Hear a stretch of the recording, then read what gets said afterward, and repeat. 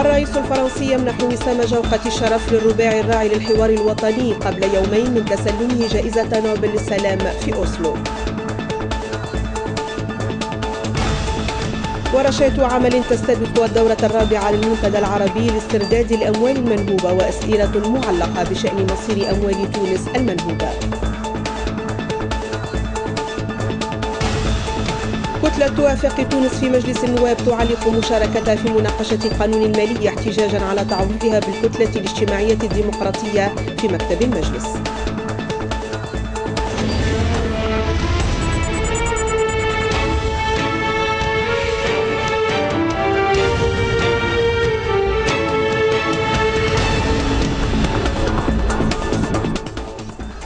نشرة الثامنة للأخبار أهلا بكم. في قصر الإليزي في باريس قلد اليوم الرئيس الفرنسي فرانسوا أولاند وسام جوقة الشرف للرباعي الراعي للحوار الوطني. هذا التوسيم يأتي قبل يومين من الحفل الرسمي لتسلم جائزة نوبل للسلام في العاصمة النرويجية أوسلو. وسام شعاره الشرف والوطن ويتبوأ أسمى درجات التكريم الرسمي في فرنسا. إنه وسام جوقة الشرف الذي منحه الرئيس الفرنسي فرانسوا أولاند لممثلي المنظمات الأربع الراعية للحوار الوطني قبل ذهابهم إلى أوسلو لتسلم جائزة نوبل للسلام. ما يمس تونس يهم فرنسا ديمقراطياتنا تدافعان عن القيم نفسها كالحرية والانفتاح وتفاهم مشاكل العالم كما نواجه سويا اليوم نفس التهديدات. التكريم الفرنسي قوبل بفخر رباعي الحوار بهذا الوسام وإشادته بدور فرنسا في دعم تونس والوقوف إلى جانبها لا سيما في هذه المرحلة الدقيقة. هذا التكريم هو يتعدى أشخاصنا الأربعة اللي يشمل آه، تونس بأكملها. اللي يشمل الأحزاب اللي ساهمت في نجاح هذا الحوار. اللي معناه التكريم هذا من المفروض هو يهدى إلى كل شهداء الثورة. الشكر بالعيد الحاج محمد الإبراهيمي ولكن أيضا لشهداء الأمن لشهداء الجيش. أنا نقول مازال العمل يلزم يقوموا به في الناحية الاقتصادية والاجتماعية وهذا أحسن معناها فرصة باش نجموا نزيدوا نتكلموا على تونس وش هما اللي مازال يصنع في تونس معناها مستقبلية. ومن على منبر التكريم وجه رباعي الحوار رسالة من أجل مزيد التعاون بين البلدين في القضايا المشتركة. ما يحدث في الشقيقة ليبيا وفي الشقيقة سوريا يعني لا يعجب أحد. فكانت فرصة بالطبع لأن نتحدث عن هذه القضايا والقضايا التي تهدد أمن المنطقة وتهدد البلدان الشقيقة والصديقة وتهدد المتوسط بصورة بصورة عامة. ما نجموش هنا ما نحكوش على المهاجرين. يعني نحن نعرف جيدا في بلادنا أن المهاجرين يعانون كثيرا. سواء كان من البيروقراطية وفي أداء في منح التأشيرة وأيضا المهاجرين في هنا في فرنسا لهم مشاكل متعددة. هنا لابد من حل هذه المشاكل. لابد من تسهيل التأشيرة. وسام جوقة الشرف الذي أنشأه نابليون بونابرت في بداية القرن التاسع عشر اختارت فرنسا أن يتجاوز في هذه المرة معاني التكريم ليكون دعوة لتونس إلى معركة مشتركة من أجل الحفاظ على دعائم الديمقراطية ونبذ العنف والتطرف والإرهاب. وسيم الدالي للتلفزة الوطنية التونسية باريس. وكان وفد من الرباعي الراعي للحوار الوطني قد غادر صباح اليوم مطار تونس قرطاج نحو أوسلو لتسلم جائزة نوبل للسلام على متن طائرة تابعة للخطوط الجوية التونسية. تحمل اسم الزعيم النقبي الراحل فرحات حشاد في رحلة محملة بعديد الرسائل. من مطار تونس قرطاج. كان منطلق رحلة وفد من الرباع الراعي للحوار نحو العاصمة النرويجية أوسلو لحضور موكب تسلم جائزة نوبل للسلام بعنوان سنة 15 و2000 يوم العاشر من ديسمبر الجاري الموافق لذكرى الإعلان العالمي لحقوق الإنسان. رحلة وصفت بالتاريخية وتحمل رسائل تحد وأمل وسلام. إن شاء الله نحمل آه، لداخل تونس آه، رسالة الأمل. من أجل بناء المستقبل من أجل آه، عيش آه، مرفه للجميع فيه أمن وفيه وفيه استقرار وفيه تطوير لبلادنا. أعضاء الوفد أكدوا أيضا التزامهم بحسن استثمار هذه الجائزة التي ساهم في الفوز بها كل التونسيين وفق تعبيرهم للترويج لتونس كوجهة سياحية واستثمارية متميزة وكنموذج ناجح للانتقال الديمقراطي. اللي خذا جائزة نوبل للسلام هو الشعب التونسي لأنه لولا يعني تربط الحوار المتوفرة في تونس ما كانش الحوار ينجح في تونس وبالتالي الرباعي الراعي للحوار عنده مسؤولية كبيرة اليوم من ناحيتين من ناحية أنه يكون اليوم يدعو إلى ثقافة الحوار وإلى ثقافة السلام وثقافة السلم. ومن ناحية أخرى كيف يوظف هذه الجائزة لخدمة تونس؟ التعريف أكثر بتونس في كل المجالات في كل القطاعات تونس تونس الاعتدال تونس التسامح. ستكون معناها رسالة قوية من أجل دفع الاستثمار في تونس من أجل دفع القطاع السياحي وإبراز معناها المحاسن التونسية في هذا المجال. نأمل أن تكون هذه الرحلة وهذا المناسبة بالفعل تنعكس بالشكل المطلوب على بلادنا. الرحلة أمنتها طائرة تحمل اسم فرحات حشاد تابعة للخطوط الجوية التونسية كتكريم للزعيم النقابي فرحات حشاد وكتب عليها تونس إرادة السلام. ونذكركم مشاهدينا الكرام أن التلفزة الوطنية ستخصص يوم الخميس القادم برنامجا مباشرا مفتوحا يتم خلاله تغطية وبث مراسم تسليم جائزة نوبل للسلام واستلام الرباعي الراعي للحوار الوطني الجائزة. وينطلق هذا البرنامج الخاص بداية من منتصف النهار ويستضيف مجموعة من الشخصيات الوطنية لتثمين هذا الحدث وإبراز أهمية هذه الجائزة بالنسبة للتجربة التونسية في الانتقال الديمقراطي والعلاقة بين المجتمع المدني والبرلمان والحكومة. كما يتخلل البرنامج مداخلات مباشرة من أوسلو لمراسلي التلفزة الوطنية. تفتتح غدا في الحمامات الدورة الرابعة للمنتدى العربي لاسترداد الأموال المنهوبة. اليوم وفي هذا الإطار تم تنظيم ورشات عمل حول طرق استعادة هذه الأموال والعراقيل التي تحول دون ذلك. 95 إنابة قضائية دولية وقع توجيهها إلى قرابة العشرين دولة عربية وأوروبية وإفريقية منذ 2011 قضايا تطرح مجددا في الدورة الرابعة للمنتدى العربي لاسترداد الأموال المنهوبة من قبل الرئيس السابق زين العابدين بن علي وعائلته بهدف إيجاد الحلول الكفيلة باسترجاع أموال تونس وممتلكاتها في الخارج. الآخر أنه الأموال هذه موجودة في حسابات مشفرة. الشركات الواجهه ما نعرفوهاش. شكون يعرفها؟ يعرفوها هم البلدان أصحاب معناها البلدان المعنية. اللي عندها من الكوادر واللي عندها من الخبرة من الخبرات اللي بإمكانها باش توصل إلى معرفة هذه الحسابات المشفرة. أموال منهوبة عادت وأخرى في طريقها لذلك وغيرها ما زال رهين إجراءات معقدة. مشكلة كبيرة مع أكثر الدول الحاضنة لهذه الأموال لا تريد أن تعيد هذه الأموال. بقاء هذه الأموال والكل يعرف أنه في نوع من الحركة الاقتصادية لهذه الدول. الاستثمار اللي أصبح الآن غير مشروع لهذه الدول أن تستثمر أموال منهوبة وكأن العالم أصبح فوضى. يعني كأن عملية قرصنة عالمية لأموال دول أبنائها مش لاقين يعني لقد أثبت لبنان أنه الدولة العربية الأولى وقد يكون من الدول العالمية القلائل التي أعادت أموال منهوبة لأصحابها. لتونس أعدنا 28 مليون دولار. ثم لدولة للعراق الشقيق فزيت من عدم مبلغ آه، كان منهوب من الدولة العراقية. نحن نعم متعاونون وإيجابيون في هذا التعاون العربي أو التعاون الدولي.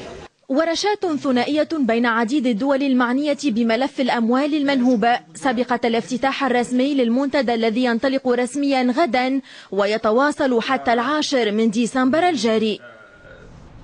ولمزيد من التفاصيل حول هذا المنتدى وآخر الاستعدادات لافتتاحه غدا ينضم إلينا مباشرة من الحمامات مفد الأخبار أيمن بالحش سالم أيمن ما أهم تم بحثه خلال هذه الورشات التي تسبق والافتتاح وما هي آخر الاستعدادات؟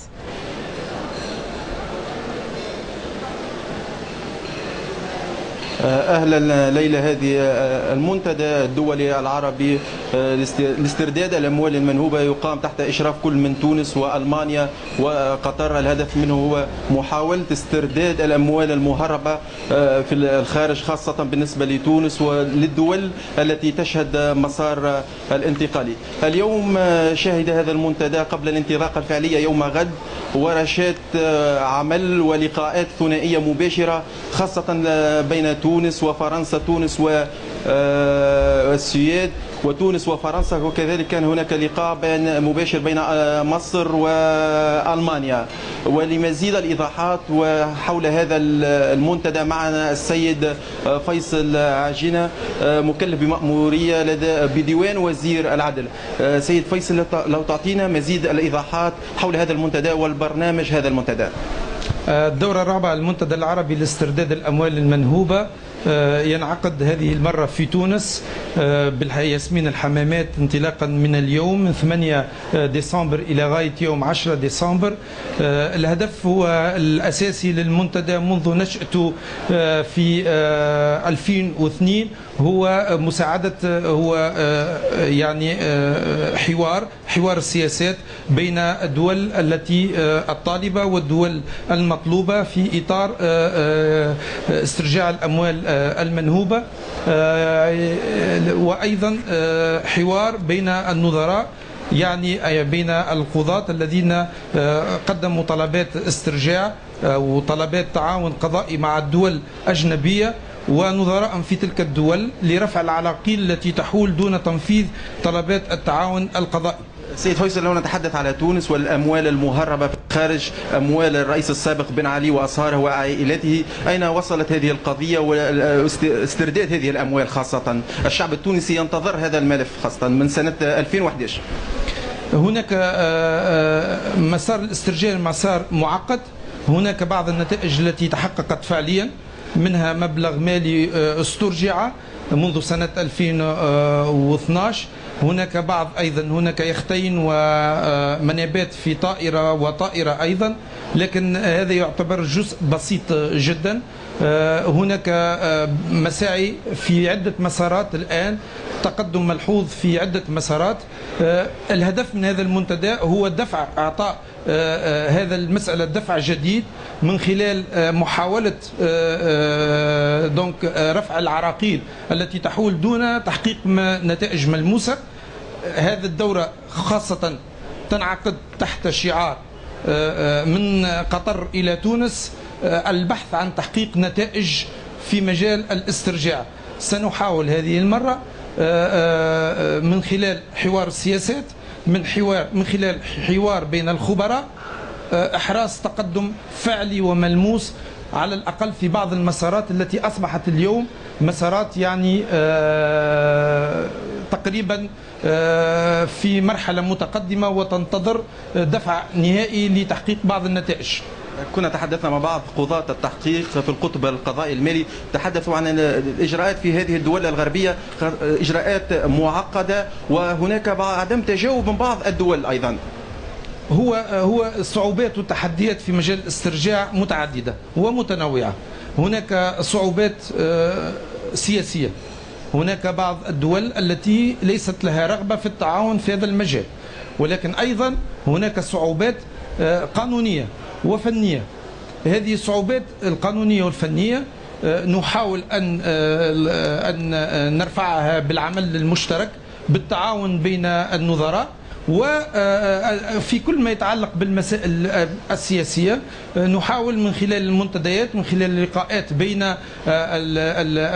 يعني أصحاب القرار أن نقرب وجهات النظر أن نحاول أن نرفع الالتباس أن نحاول أن نقنع الآخرين بعدالة الطلب بضرورة تحقيق نتائج وإرجاع الأموال التي نهبت من الشعب التونسي.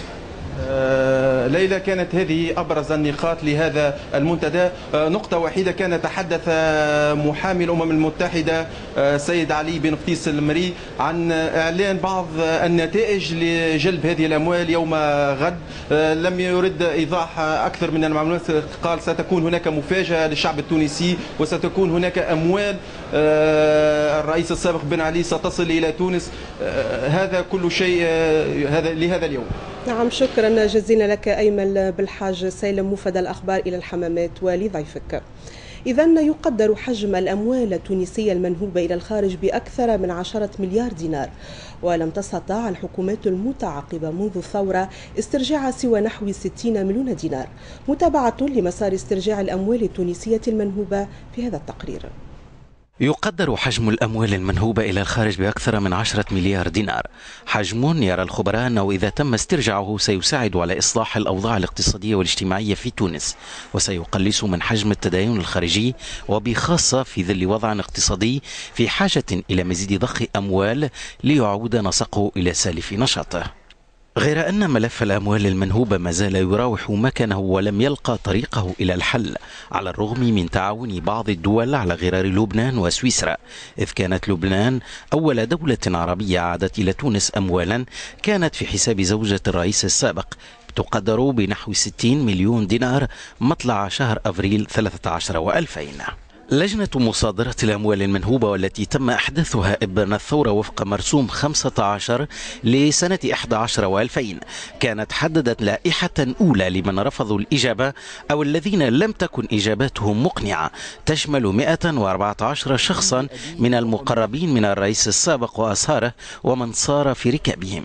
وفتحت بابا للتصريح الطوعي للأموال الفاسدة لغير المذكورين في اللائحة الأولية. لكن لصوص المال المال العام والفاسدين لم يقفوا مكتوفي الأيدي كأنما كانوا يتحسبون ليوم مثل هذا. فكثير من أموالهم اختفت تحت أسماء مستعارة أو نقلت إلى حسابات سرية في الخارج. من أجل ذلك اتخذت الدولة لاحقا إجراءات احتياطية إضافية لمنع سفر ثمانين من رجال الأعمال لكن حتى ذاك الإجراء لم يأتي بالجديد خاصة بعد أن تعالت الأصوات المنادية بإلغاء مرسوم المصادرة والتوجه نحو المصالحة مع رجال الأعمال في ربيع 15 و2000 في المحصلة وبحسب متابعين فإن الجميع يتألم لضياع وقت كبير في سبيل استرجاع الأموال المنهوبة. ويطرح أكثر من سؤال لماذا كانت عجلة استرجاع الأموال المهربة بطيئة إلى هذا الحد؟ ولماذا لم تتم استعادة المال المهرب إلى أوروبا وأمريكا على الرغم ما تنص عليه اتفاقية الأمم المتحدة لمكافحة الفساد؟ إلى نشاط البرلماني جلسة واليوم للتصويت على مشروع قانون المالية للسنة القادمة قاطعته كتلة أفاق تونس بسبب ما اعتبرته إقصاء لها من مكتب المجلس وتعويضها بالكتلة الاجتماعية الديمقراطية. تعليق كتلة أفاق تونس مشاركتها في الجلسة العامة وسحب ثقتها من مكتب المجلس بتركيبته الحالية. أهم ما أقره نائب رئيس الكتلة كريم الهلالي خلال ندوة صحفية بعدما اعتبره إقصاء للكتلة مهددا باللجوء إلى القضاء. إخلالات إجرائية. بالجملة نحيوا الإجراءات على على جنب. اليوم عشرة نواب من الكتلة الديمقراطية عشرة نواب من أفاق تونس. للمرة الثانية على التوالي يتم تبجيل الكتلة الديمقراطية بتبريرات أكثر ما يقول كونها واهية. معناتها آه، آه، من قبيل آه، هما جابوا قبل الورقة. الموضوع هذا باش نحلوه بالقانون وهذا يمكن يمشي للقضاء. ويمشي للطعون وإحنا جاهزين. أو باش نحلوه بالتوافق. الرد جاء سريعا من قبل الكتلة الاجتماعية الديمقراطية التي أعلنت أنه لا وجود لأي إخلالات قانونية. الكتلة الاجتماعية الديمقراطية قدمت إضافة عدد النواب نتاعها قبل. أحنا طلبوا منا قالوا لنا راهو أنتم عندكم 10 نواب والكتلة الموالية عندها تسعة وبالتالي راهو أنتم معناتها عندكم المقعد اللي متبقي في المكتب بعد توزيع باقي المقاعد. وقد اعتبرت الكتلة الاجتماعية الديمقراطية أن احتجاج أفاق تونس على تركيبة المجلس هو فقط لتغطية ما سمته بفشلها السياسي. الناس تحب تعلق فشلها على كتلة نيابية أخرى هذا أمر غير معقول. هذه الناس في الائتلاف الحكومي واليوم تنسحب من مناقشة أهم قانون اللي هو قانون الميزانية. هذا يدل على ارتباك سياسي. مانيش فاهمينه سياسيا سياسيا إحنا في نفس الحكومة ولكن في مكتب المجلس ما نكونوش موجودين. معناتها ثلاثة أضلاع نتاع الرباعي الحاكم موجودة إلا أفاق تونس. علاش؟ العلم لله. الخلافات في الرؤى والتوجهات بين الكتلتين المتنافستين. لم تمنع نوابها من تجاذب أطراف الحديث مباشرة بعد الندوتين الصحفيتين. وفي انتظار ما ستسفر عنه اللقاءات القادمة يحافظ مكتب المجلس على تركيبته الجديدة. هذا ويواصل مجلس نواب الشعب التصويت على فصول مشروع قانون المالية لسنة 16 و2000 لتتمكن الجلسة العامة حتى الآن من المصادقة على أكثر من 50 فصلا. أغلب هذه الفصول توافقية باستثناء ما أثارته مقترحات التعديل من جدل حول مدى ملائمتها للتوازنات العامة للدولة. جملة من الإجراءات تضمنها مشروع قانون المالية لسنة 16 و2000 تمت المصادقة عليها في الجلسة العامة بأغلبية مريحة وصفها نواب الائتلاف الحاكم بالهامة باعتبار ما ستدره من أموال لميزانية الدولة. من بينها تلك المتعلقة بالإصلاح الديواني وبالأداء على القيمة المضافة وبالنظام التقديري. النظام التقديري هو نظام معناها الناس اللي هم فيه ما يخلصوش يخلصوا حاجات تنجم تقول لي معناها محدودة جدا يشمل 300 ولا 400 390 ولا 400 ألف شخص. بالطريقة هذه نكونوا نقصنا بدرجة كبيرة ياسر في العدد تاع الناس هذوما. توسيع الأداء على القيمه المضافة كيف كيف نقصوا معناها ثم برشا ناس كان يلزمها تكون موجود في السابق الاداء على القيمه المضافة ما كانتش موجودة وتحرمت منها خزينة الدولة دون وجه. التخفيض يندرج في الاصلاح الديواني اللي جاب به مشروع القوانين المالية تاع 2016 واللي فيه اولا تبسيط كبير من أربعة نسب إلى زوز نسب صفر وعشرين. تخص خاصة المواد الأولية ونصف المصنعة والمواد التجهيزات خاصة متجهة بالنسبة للقطاع الصناعي لتخفيف يعني الكلفة ودعم التنافسية. إجراءات تحفظت بشأنها كتلة الجبهة الشعبية كما أعرب حزب صوت الفلاحين عن امتعاضه لعدم سحب التخفيض الديواني على الجرارات المستوردة. صوتنا ضد العديد من الفصول باعتبار أنها في حقيقتها ما جاش تستجيب المصالح نعتبرها أساسية سواء فيما يتعلق الحد الآن بالتخفيض في بعض الأداءات اللي ما ما شفنا لهاش موجب خاصة بالنسبة للضريبة على الدخل. اعترضنا باعتبار أن تم استبعاد الفئات الشعبية من الإعفاء هذايا. الجرارات الفلاحية المستعملة باش يوظفوا عليها 20% أداءات. أنا عملت فيه مقترح أنا باش نرجعوها ما تدفعش. تو الدولة تجيب العلوش من برا وما يدفعش. الدولة تجيب الحافلات باش باش تركب فيها العباد وما تدفعش. والفلاح باش يجيب تراكتوره قديمة. باش معناتها يخدم بها. لا. مقترح حزب صوت الفلاحين هو واحد من بين عديد مقترحات التعديل التي رفضت على اعتبار أنها تمس من التوازنات العامة للدولة ما أثار جدلا في الجلسة العامة في حصتيها الصباحية والمسائية حول تأويل الفصل الثلاثين من القانون الأساسي للميزانية. قبل تحوله إلى العاصمة القطرية الدوحة للإشراف على أشغال اللجنة العليا المشتركة التونسية القطرية أعطى رئيس الحكومة الحبيب الصيد إشارة انطلاق مشروع زراعي ضخم في العاصمة الأردنية عمان مختص في إنتاج وتسويق شتلات الأشجار المثمرة. في ختام زيارته إلى الأردن أعطى رئيس الحكومة لحبيب الصيد رسميا إشارة انطلاق نشاط مشروع شركة أجروميلورا الشرق الأوسط شركة تونسية أردنية إسبانية مختصة في إنتاج وتسويق مشاتل الأشجار المثمرة. توانسة عندنا 65% من هذا المشروع. وما شاء الله تو ننجو 3 مليون شتلة زيتون بكل إطارات توانسة التكنولوجيات الكل من تونس. الهدف نتاعنا الإنتاج ننتج شتل أشتال زيتون أشتال فواكه كل أنواع الأشتال. مساحات المشروع 50 ألف متر مربع 5 هكتارات يعني. مساحة البيوت المحمية البلاستيكية تقريبا هكتار ونص. تنتج كل أصناف تنتج أصناف زيتون وأصناف فواكه. ثلاثة ملايين من مشاتل الزيتون والأشجار الأخرى هو معدل الإنتاج الحالي للشركة ويطمح القائمون عليها إلى رفع طاقتها إلى ستة ملايين نوع من المشاتل معولين في ذلك على الخبرة التونسية. يعني خبرتنا مع الهاي زراعة ناجحة جدا وبعدين الخبرات التونسية يعني قدمت لنا للمشروع هذا أشياء يعني كثيرة ومفيدة. وإن شاء الله قاعدين ننقل التجارب هذه للشرق الأوسط كله. يعني حين سوقنا الأساسي هو المملكة العربية السعودية وصرنا موردين أكثر من 7 مليون شتلة. مبادرة دعا رئيس الحكومة المستثمرين التونسيين إلى النسج على منوالها خاصة وأن فرص الاستثمار في هذا البلد الشقيق متوفرة. إمكانيات إمكانيات التبادل الاقتصادي والتجاري وتبادل الآراء في كل المستويات موجودة وال والأهم هو ندعمها ونفعلوا الاتفاقات وبعد زيارة دامت يومين للمملكة الأردنية الهاشمية تحول رئيس الحكومة إلى دولة قطر محطته الثانية للإشراف على أشغال اللجنة العليا المشتركة التونسية القطرية. الصعوبات التي تواجه المؤسسات الاقتصادية بعد بعثها ما يهدد إمكانية ديمومتها. ذلك ما أهم, أهم ما تم طرحه في الندوة التي نظمتها وزارة الصناعة والطاقة والمناجم بالتعاون مع الوكالة الألمانية للتعاون الدولي. بعض المتدخلين أكدوا ضرورة الإحاطة بالمؤسسات بعد بعثها لضمان نموها. 660 ألف هو العدد الجملي للمؤسسات الاقتصادية بالجمهورية التونسية.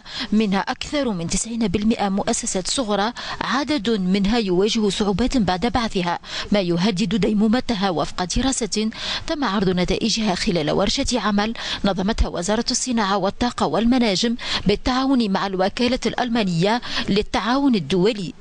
قرابة 60 ألف مؤسسة كل عام يقع حداثة وفي معدل نتاع 40000 مؤسسة تخرج من معناتها من السوق. فما نسبة كبيرة من المؤسسات حتى الخمس سنين نتاع المؤسسات الصغرى. آه، حتى الخمس سنين ما تقدرش كوني تتعدى من مرحلة نتاع آه، مؤسسة صغيرة لمؤسسة أكبر أكبر في الحجم وثم réellement un problème خاطر صاحب المشروع يلقى روحه وحده une fois il a créé l'entreprise or هي المشاكل تبدأ وقت اللي يدخل صاحب المشروع في الإنجاز. مشاكل من نوع آخر. مشاكل نتاع تسويق نتاع تصرف نتاع مالية اللي تو الهياكل تحاول بمجهوداتها. ولكن ما ثماش réellement آه، آه، حاجة اللي تكون توفر آه، حظوظ النجاح ضرورة الإحاطة بالمؤسسات الاقتصادية قبل وبعد بعثها ضمانا لديمومتها ونموها. ذلك ما أكده جل المتدخلين في ورشة العمل. شرعنا في إنجاز برنامج للتعاون الفني مع الجانب الألماني يهدف لإيجاد وضع تمشي جديد يهدف لمساند الباعثين والمؤسسات دونك الصغرى في كافة المراحل بدءا من الإنجاز إلى ثلاث سنوات أو الخمس سنوات ما بعد الأحداث. تركيز مؤسسات اقتصادية على أسس صلبة من خلال دعمها ومتابعتها بعد بعثها يضمن بقائها وبالتالي المحافظة على مواطن الشغل. بعد فتح عشية فتح الحدود التونسية الليبية مجددا بعد قرار إغلاقها على خلفية الهجوم الإرهابي الذي جد مؤخرا في شارع محمد الخامس تشهد المنطقة تعزيزات أمنية تنفيذا لإجراءات المجلس الأعلى للأمن القومي كما رفعت درجة التأهب واليقظة.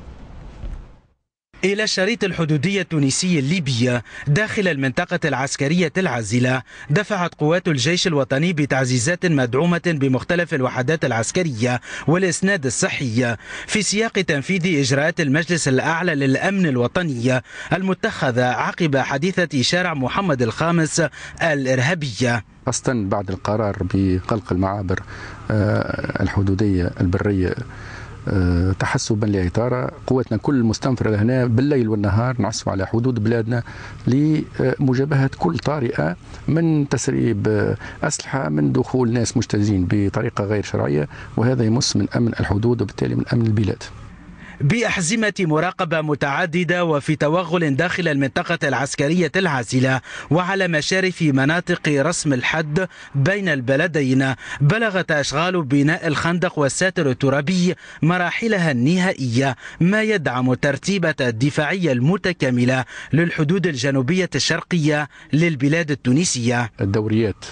معناها المشتركة مع قوات الأمن الداخلي عن المراقبة الإلكترونية وكذلك عندنا الدعم الجوي بالمروحية المسلحة. عشية فتح منتظر للمعابر البرية. يقظة وجاهزية رفعت درجتها إلى الأقصى داخل المنطقة العسكرية العازلة. يسندها خندق وساتر ترابي للتدخل والتوقي. خميس بوبطان التلفزة الوطنية التونسية من داخل المنطقة العسكرية العازلة على الحدود التونسية الليبية. آلية الإسعاف الاجتماعي في مركز الإحاطة والتوجيه الاجتماعي في الزهروني تجربة تستهدف الفئات الاجتماعية الهشة على غرار الأشخاص فقدي سند. هذه الآلية سينطلق العمل بها في إقليم تونس الكبرى وبعد التقييم سيتم تعميمها على باقي الولايات. العم محمد علي يصل ولاية باجة وهو أحد المقيمين بمركز الإحاطة والتوجيه الاجتماعي بالزهروني. شيخ الثمانين هذا اضطر إلى الإقامة في هذا المأوى بعد أن هجره أبناؤه وتركوه مشردا في الشوارع.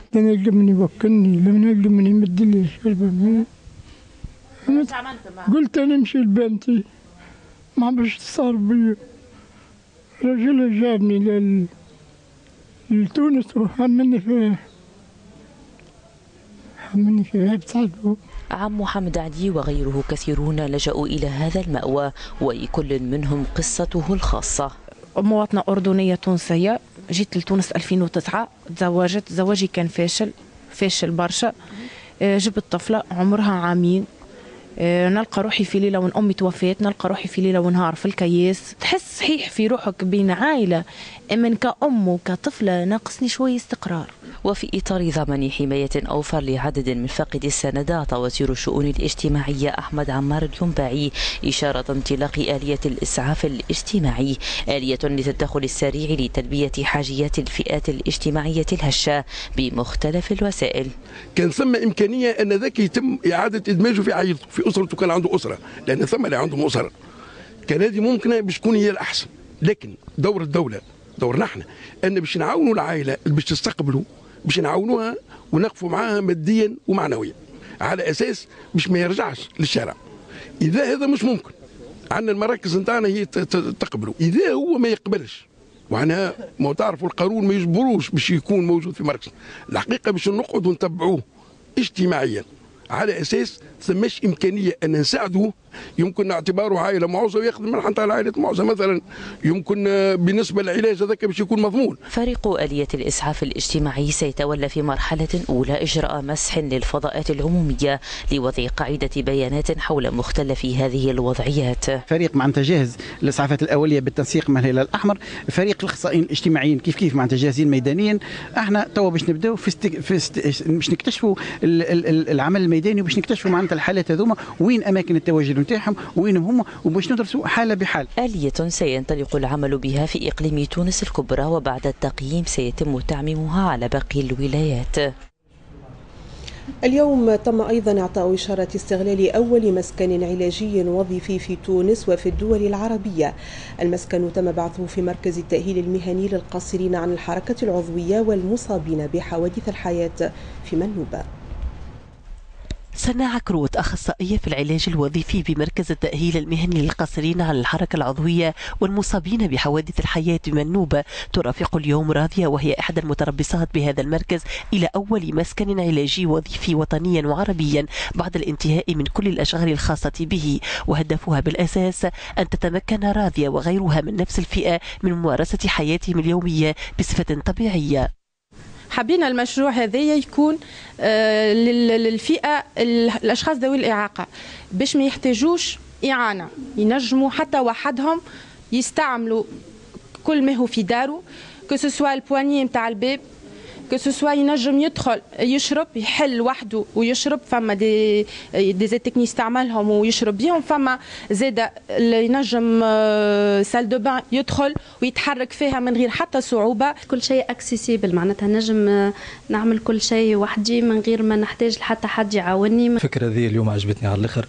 معناها تحس تزرع فيك الأمل برشا وتحس روحك انسان ماكش عاجز. يعني تجهيزات كما شفتوا كلها متلائمه مع آه، الفضاء اللي يعيش فيه المعاق يعني الإمكانيات اللي تسمح له باش يتحرك آه، وكل كل تكلفة هذا المسكن بلغت خمسين ألف دينار منهم خمسة عشر ألف دينار مساعدة من الجمعية الدولية للإعاقة. مشروع يبقى في حاجة لدعم الصناديق الاجتماعية وفق الجمعيات الناشطة في مجال الإحاطة بذوي الاحتياجات الخصوصية. إحنا كمجتمع مدني نعملوا اللي نجموا لكن وحدنا ما نجموش يلزم يدخلوا معنا صناديق يلزم يدخلوا معنا الوزارات المعنية بالأمر كما وزارة الصحة كما وزارة الشؤون الاجتماعية.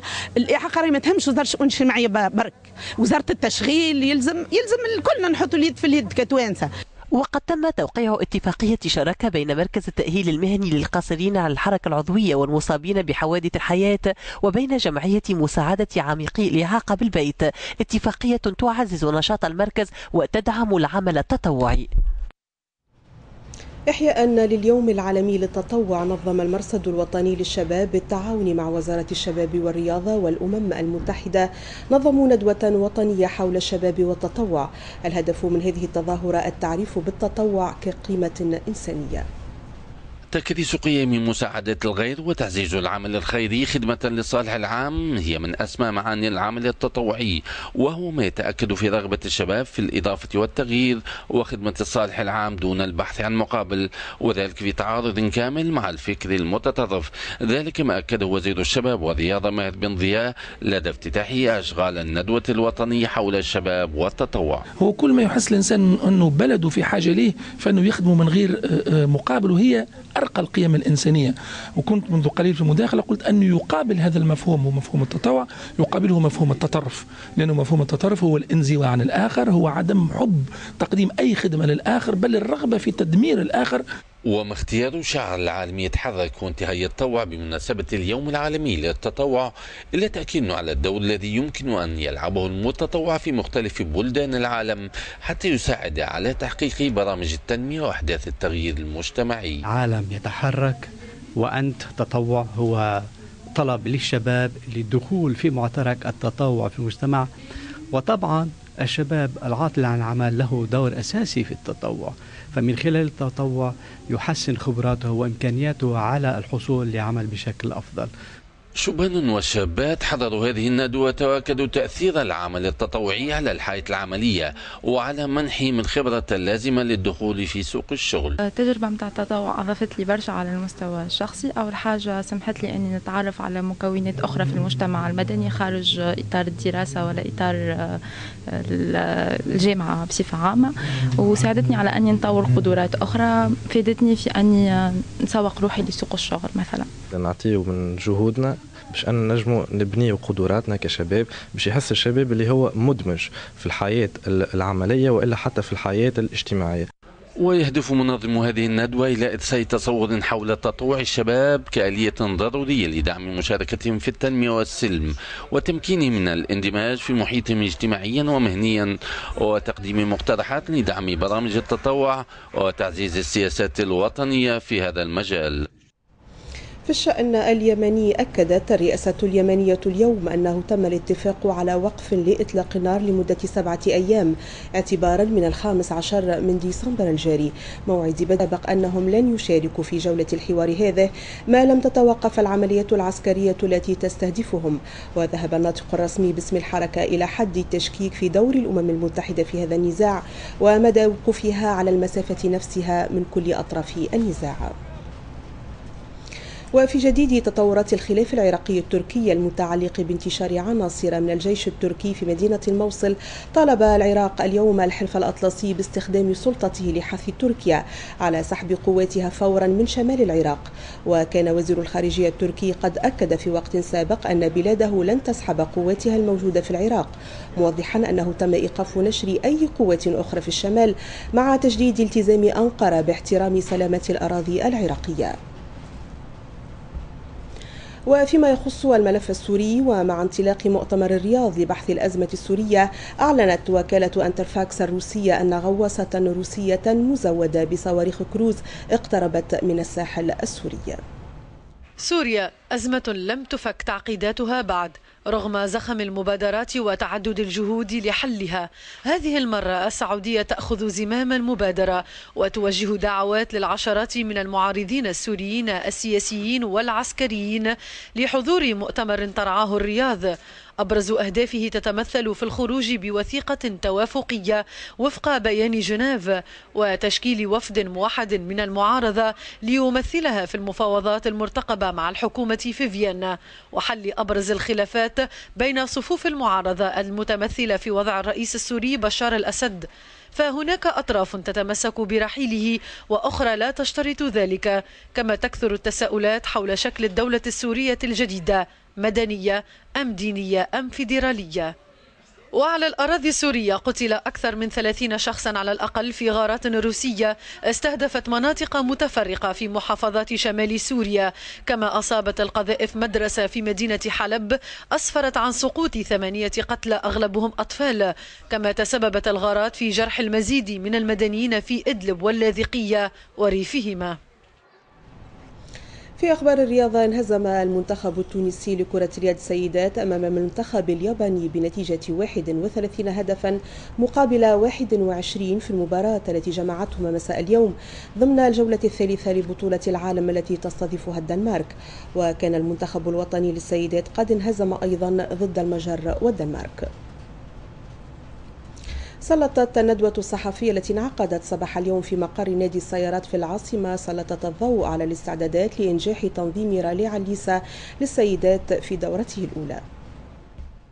25 طاقما نسائيا من تونس ومختلف الدول العربية والأوروبية سيكونون على خط الانطلاق في النسخة الثانية لرالي عليسة للسيدات المقرر من الثامن والعشرين من ديسمبر الجاري وإلى غاية الثالث من جانفي المقبل. هذا ما تم الإعلان عنه اليوم خلال ندوة صحفية احتضنها مقر النادي الوطني التونسي للسيارات. أصلا الرالي أصلا أنا à part touristique à part كل شيء. ضد الإرهاب باش نبينوا اللي إحنا تونس راهي بخير وراهي لاباس عليها ورانا متفرهدين ورانا شيخين في في بلادنا. إحنا الرالي هذايا عملناه معناتها une première édition في 2000 السنة الماضيه والسنة normalement المراه معناتها بالطبيعه في الرالي هذه عندها بلاصه كبيره على الآخر المرأة التونسية ديما تسجل حضورها في الميادين الكل. ديما تبرهن للمجتمع وللعالم الكل اللي هي موجودة اللي هي إنسانة ناجحة اللي هي العمود الفقري متاع المجتمع التونسي. donc إن شاء الله ديما ناجحين ديما موجودين وديما حاضرين. رالي عليسة للسيدات هو رالي انتظام على الطريق تعطى فيه الأولوية للسلامة المرورية ويمتد على مسافة 1600 كيلومتر موزعة على أربع مراحل انطلاقا من بنزرت وصولا إلى تطاوين ثم العودة إلى المنستير فمدينة سيدي بوسعيد. أه تحدي نتاع نساء هذوما الأجانب اللي من بعد باردو من بعد سوسة من بعد أه حادثة تونس العاصمة أنه نساء هذوما أه مصرين. أنهم يجيوا لتونس. معناتها اللي نتاع انتظام والمسابقة المنتظمة أكثر واحدة هي اللي تربح. معناتها منتظمة ما يلزمهاش تفوت 90 كم في الساعة في الطرقات خارج مواد العمران 50 كم في الساعة داخل مواد العمران. ويلزم ديما سنتير سيكوريتي وملتزمين باحترام علامات المرور ملتزمين باحترام قوانين الطرقات. رالي عليسة وبالرياضة نصل لختام هذه النشرة وإليكم تذكيرا بعناوينها الرئيس الفرنسي يمنح وسام جوقة الشرف للرباعي الراعي للحوار الوطني قبل يومين من تسلمه جائزة نوبل للسلام في أوسلو. ورشة عمل تستبق الدورة الرابعة للمنتدى العربي لاسترداد الأموال المنهوبة وأسئلة احتجاجا على تعويضها بالكتلة الاجتماعية الديمقراطية في مكتب المجلس. ونذكركم مشاهدينا الكرام أنه يمكنكم التواصل معنا عبر البريد الإلكتروني info@tunisia.tv.tn كما نذكر أن سنة وستة وتسعين يوما مرت على اختفاء الصحفيين سفيان الشورابي ونذير الكتاري في ليبيا. شكرا على المتابعة وإلى اللقاء.